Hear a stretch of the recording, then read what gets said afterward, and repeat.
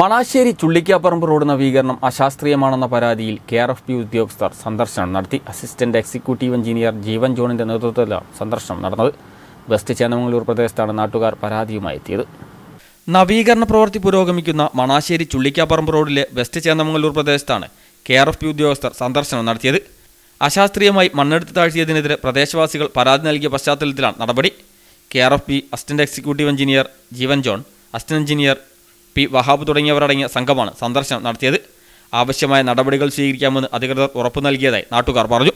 West Chennamangalur Ansar പള്ളിയോട് ചേർന്ന ഭാഗത്ത് മണ്ണുമാന്തി യന്ത്രത്തിന്റെ സഹായത്തോടെ മണ്ണ് നീക്കം ചെയ്തതോടെ പള്ളിയിലേക്കും മദ്രസയിലേക്കും വ്യാപാര സ്ഥാപനങ്ങളിലേക്കും കയറാൻ പറ്റാത്ത അവസ്ഥയാണെന്ന് നാട്ടുകാർ പറയുന്നു.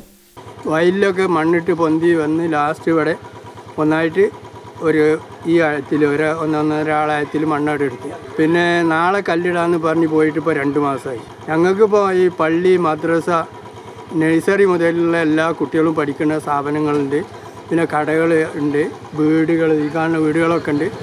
എല്ലായിടത്തും വരയിലും വീടുകൾക്കും കയറാൻ വഴിയില്ലാതായി. ഇടറോഡുകളിലേക്ക് വാഹനം കൊണ്ടുപോകാൻ സാധിക്കുന്നില്ല. കയറ്റം കുറയ്ക്കാനായി അശാസ്ത്രീയമായി മണ്ണെടുത്തതോടെ അപകടങ്ങൾ പതിവായതായി നാട്ടുകാർ പറയുന്നു. ഈ രണ്ട് റോഡും അവിടുന്ന് ഇവിടുന്നുള്ള റോഡ് രണ്ടും താത്തിയിട്ട് വണ്ടി വന്നിട്ട് ഇപ്പോൾ ഒരു നാലോ അഞ്ചോ ആക്സിഡന്റ് ആയി. ദിവസം ഇവിടെ കുട്ടികൾ കോളേജിൽ പോകുന്ന കുട്ടികളും പെൺകുട്ടികളൊക്കെ വീണുകൊണ്ടും എടുത്തുകൊണ്ടുപോയി പരിക്ക് പറ്റിയും അങ്ങനെ പോകുന്നു. തുടർന്ന് നാട്ടുകാർ എം എൽ എ ഉൾപ്പെടെയുള്ള ജനപ്രതിനിധികൾക്കും കെ ആർ എഫ് പി ഉദ്യോഗസ്ഥർക്കും പരാതി നൽകിയിരുന്നു.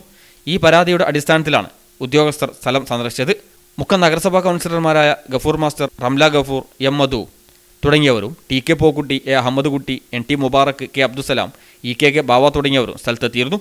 കിഫ്ബി പദ്ധതിയിൽ ഉൾപ്പെടുത്തി ഇരുപത്തെട്ട് കോടി രൂപ ചെലവിലാണ് റോഡ് നവീകരിക്കുന്നത്. മണാശ്ശേരി മുതൽ പൊറ്റശ്ശേരി വരെയുള്ള മൂന്ന് കിലോമീറ്റർ ഭാഗം ആദ്യഘട്ടത്തിൽ ടാറിംഗ് നടത്തി. റോഡിന്റെ നിർമ്മാണ പ്രവൃത്തി പൂർത്തിയാവുന്നതോടെ മലപ്പുറത്തുള്ളവർക്ക് കോഴിക്കോട് ജില്ലയിൽ പ്രവർത്തിക്കുന്ന N I T I I M എന്നീ വിദ്യാഭ്യാസ സ്ഥാപനങ്ങളിലേക്ക് എളുപ്പത്തിൽ എത്താൻ കഴിയും. ഇത്തരത്തിലുള്ള പ്രാധാന്യം കണക്കിലെടുത്താണ് നവീകരണത്തിന് ഇരുപത്തെട്ട് കോടി രൂപയുടെ ഫണ്ട് വകയിരുത്തിയത്. സി പ്രാദേശിക വാർത്ത മുക്കം.